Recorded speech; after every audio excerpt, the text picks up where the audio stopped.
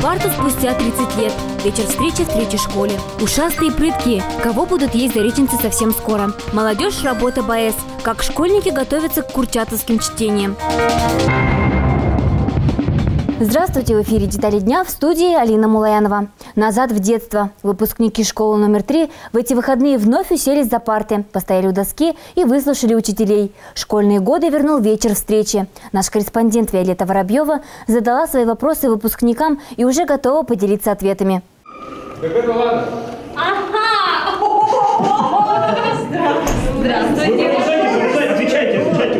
Картину, где экс-глава администрации сидит на столе, можно увидеть только здесь, в школьном кабинете. Когда вокруг не чиновники, а школьные друзья, с которыми, казалось, совсем недавно сидели за одной школьной партой.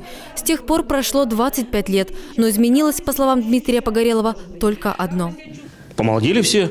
Подробнее о школьной жизни рассказала одноклассница чиновника и о том, как металлолом собирали и как тележку угнали для его перевозки. С тех пор, говорит Наталья, ее друзья почти не изменились. Все остались такие же, но кто-то возмужал, кто-то кто пополнел, кто-то поумнел, но для нас же, наверное, всегда мы оставались такими. То есть мы виделись, периодически виделись. А вот кто точно не соскучился по одноклассникам, так это выпускники 2012 года. Они до сих пор помнят, где и с кем сидели за партой, кого дразнили на переменах и какой предмет любили больше всего. А потому и чувство ностальгии им пока не знакомо. Что я чувствую, сидя за партой? Да. да, на самом деле ничего я не чувствую, потому что в универе я сижу так же. У нас нет больших аудиторий на философском факультете, потому мы сидим за партами. По классу действительно скучаю. И я, поскольку шел после девятого, очень много изменилось на самом деле. Скучала по ребятам и их классный руководитель. Лариса Александровна и в школе ни на секунду не отводила глаз от воспитанников, и после выпуска она тоже за них беспокоилась. Вообще я очень их ждала, потому что это были дети мои, в общем-то, первый полноценный выпуск. Э, тем более у меня большой выпуск был, почти что 40 человек. И как бы детки такие э, всегда переживала. Лето, э, отпуска у меня не было, потому что переживала за них, пока они поступили.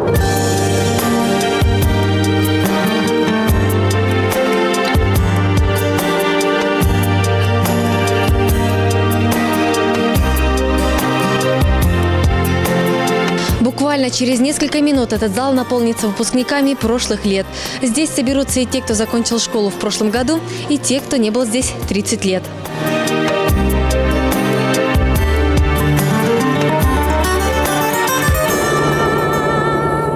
На сцене за один вечер побывали и выпускники, и нынешние школьники, и педагоги. Микрофон взяла и бывший директор третьей школы Галина Чичканова. Ребята привыкли считать ее строгим руководителем, но она запомнила только самые милые проступки своих подопечных.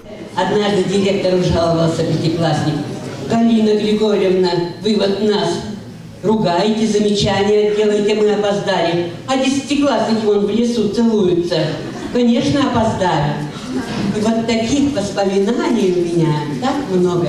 Воспоминания – это то, чем делились безвозмездно в каждом уголке третьей школы. И теперь к этим воспоминаниям прибавился еще один совместный вечер, который они забудут не скоро.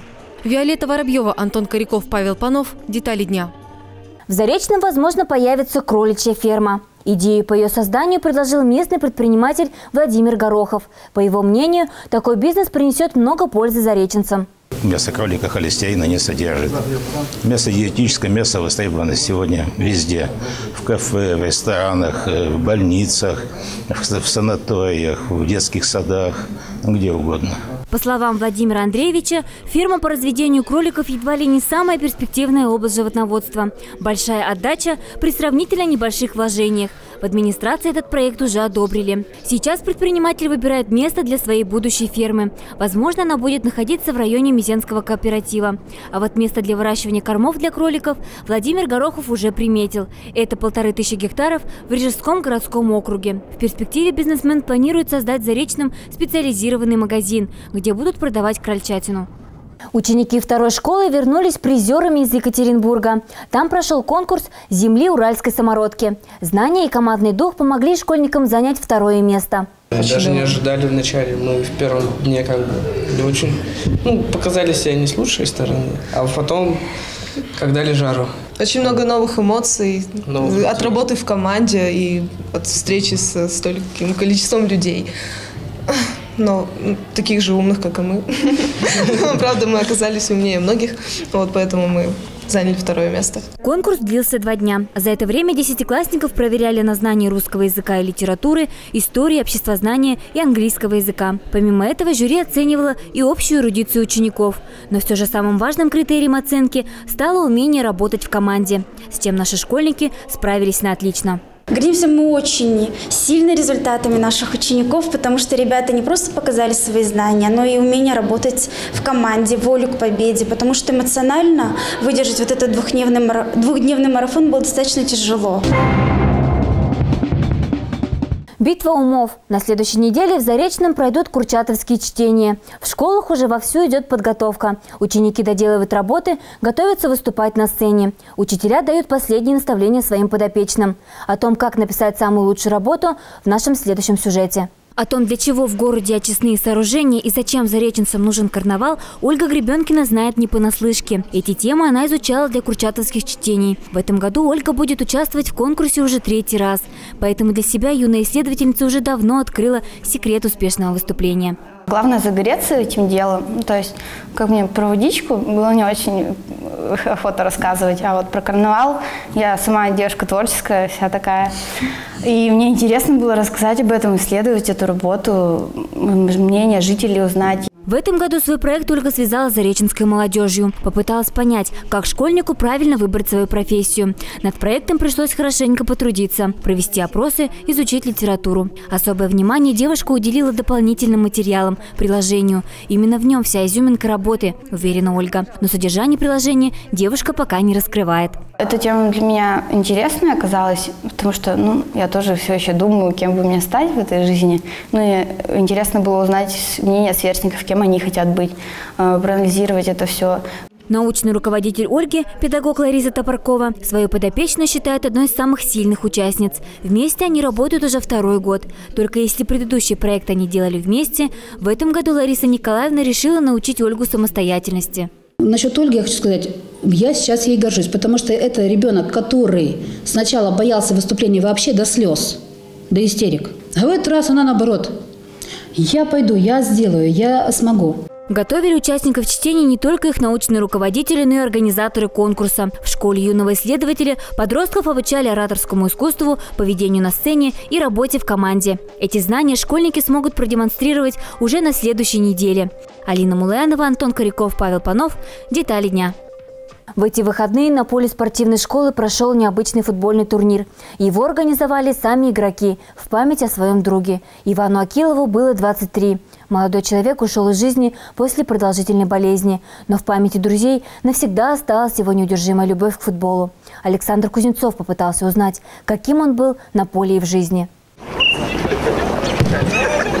Впервые на этом футбольном поле почти не следят за правилами и не называют других игроков соперниками. Сегодняшние игры – это не состязание, это дружеский турнир памяти. На футбольном поле хоть и кипят страсти, но все понимают, что пришли сюда не за победой, а чтобы с каждым забитым голом отдать дань памяти другу, спортсмену и просто хорошему товарищу Ивану Акилову.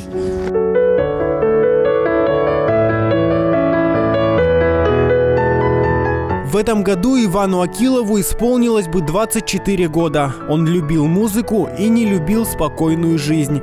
Его фотоальбомы словно календарь. Каждый год новая вершина. 2010 Ежовая, 2011 Уктус, 2012 Магнитка. Он преодолевал их на сноуборде вместе с друзьями. Они же разделяли и вторую страсть Ивана – футбол. Разделяли до самого конца. Когда узнал о случившемся, то есть узнал от его близких друзей, меня, конечно, это очень поразило. Я не знал, что ну, кто вообще Ваня болел. Вот. Ну, после этого ну, а мне там и моим друзьям пришла идея вот провести этот турнир, потому что я считаю, что если бы, как сказать, Ваня был бы жив и увидел, как сказать, то, что происходит здесь на трибунах, и в честь него, мне кажется, ему было бы безумно приятно. Вся, вся, вся, ну, все, что здесь происходит.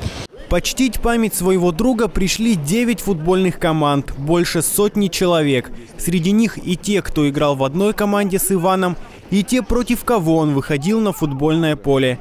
Все они, не сговариваясь, твердили, без Ивана играется совсем не так. Все-таки в сердце Ивана, наверное, в глубине его души лежал больше футбол.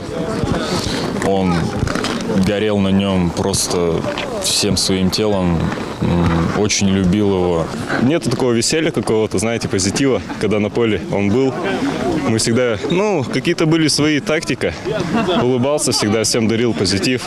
И так каждый раз. Говоря о друге, они снова будут смотреть в сторону, словно выискивая Ваню на футбольном поле.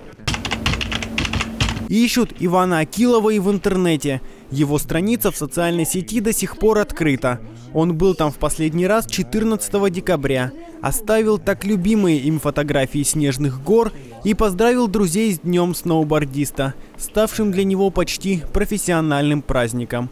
И в этом весь Иван Акилов. Именно таким он останется в сердцах своих друзей. Александр Кузнецов, Антон Коряков, Павел Панов. Детали дня. По-весеннему теплая погода ждет зареченцев завтра. Подробный прогноз от Гисметео прямо сейчас.